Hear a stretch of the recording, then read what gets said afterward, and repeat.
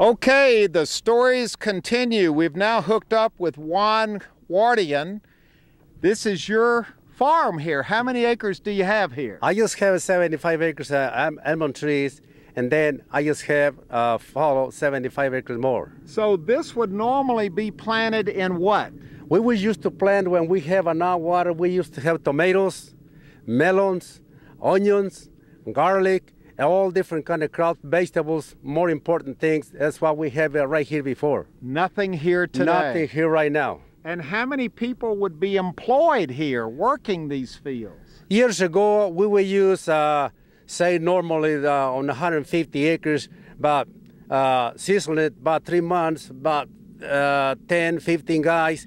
And uh, after we do that, we just cut it down in half. But right now, we have any. None. None. Because I just take care by myself because I have no money to keep on farming the way I supposed to be. Okay, now we earlier today saw some almond trees being torn out, plowed under. Yours are still here, but they're not doing well, are they? It didn't do well because we didn't we didn't have uh, the the right kind of water we're supposed to have on the trees. You're supposed to get water normally from the California aqueduct. Yes. You didn't get any I didn't get year. any this year. Where is the water coming from? That water from? has come from the well from my neighbor. So do the neighbors help each other out? We have we work with each other because we have to be supposed to be that way.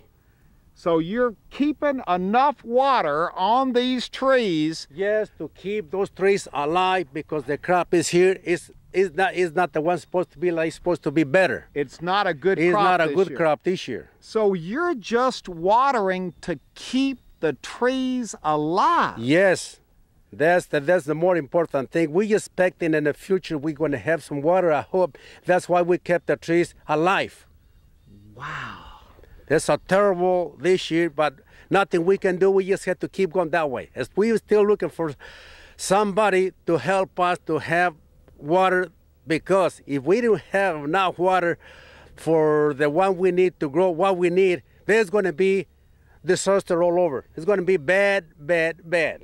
Well, this was your dream to have this farm, I just it? come. I just come from Mexico uh, 40 years ago. I just kind of work for two farmers, and then I just try to work much as I can, try to save a little bit of money because my dream when I come from Mexico is to have something for my kids. And this was it. And this, so that's the. Uh, I get lucky, and I have this property. I own, I'm the owner, but we have a big problem right now. Now we've come to a place, to a situation that really points out how severe the water shortage is here in Fresno County. Shawn Coburn is a farmer here. You grow all kinds of crops here. Usually your water comes from where, Shawn? Normally, most of our water comes from the California aqueduct. Good, clean, fast flowing California aqueduct water. Yeah, good, good quality water, most definitely. This year, how much of your water is coming from the California aqueduct? This year, we have a 10% federal allocation in western Fresno County. 10%. 10, percent yeah. So what are you having to do? And that's what we're seeing behind us here. Well, nor- normally, wells are an insurance policy that you use to get through some, some tight years. This year at 10%, we're having to rely on well water. Uh, this well water that we're pumping right now is going through the filter station, which you can see over here. Now, why is it going through a filter? You don't have good well water here, do you? no, the, the, the water's deep and the quality is pretty bad. Very salty. A lot of salt, So you high in boron. You don't usually use well water. Our usual use of well water is when we have surface water to blend with to get through a tight spot. But this, this, uh, this, this is a spot that we can't get out of. Yeah. Now, see Juan over here. We just talked with Juan. He's your neighbor. He's using well water just to keep his almond trees alive. You're using it and pumping it where?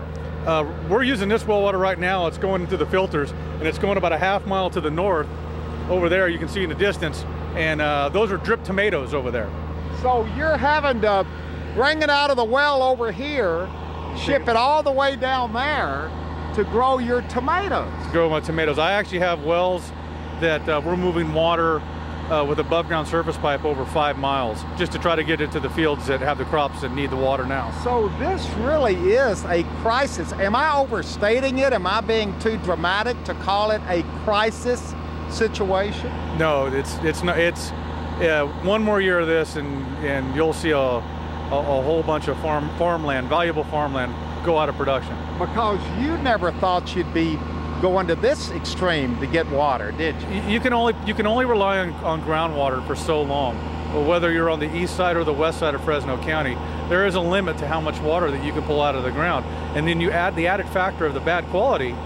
Uh, you know, it's it's a slow death for the tomatoes, and it's a slow death for the almonds. It's a, it's a slow death for every every kind of crop you try to grow on it. It's a slow death for agriculture in this state. Well, that, that's the thing. If it, if this was Hurricane Katrina, which it is, you have to think of it this way. It's a, it's a hurricane, but it's moving at about a half mile an hour. Just a real slow, insidious death spiral. That's that's what we're going through out here right now. We're this this this this well is is the last the last thing I can do. We, we spent seven hundred thousand dollars on this last well, and I can't get a bank to even loan me uh, loan me money for any more wells. They've just so this is up. it. This is it.